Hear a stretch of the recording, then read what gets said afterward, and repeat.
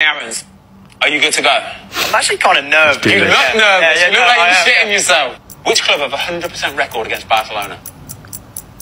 Uh, uh, uh, Espanyol. Dundee United. Who scored their first goal for Liverpool at the weekend? Carvalho. Carvalho. Who scored their first goal? Wayne Rooney's first goal in the Premier League was against which team? Arsenal. Uh, uh, um, uh, Man City. Arsenal. What was the halftime score in the Man City game at the weekend? 2 0. 2 1. 2 0.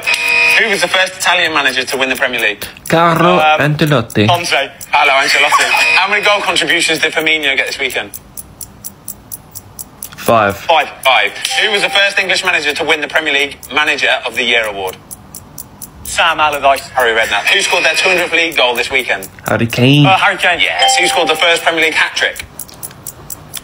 That's nah. you. Antona. Who was the worst? Who has the worst goal difference in the Premier League so far? AFC Bournemouth. Bournemouth. Which oh. won the FA Cup but got relegated in the same season in 2013?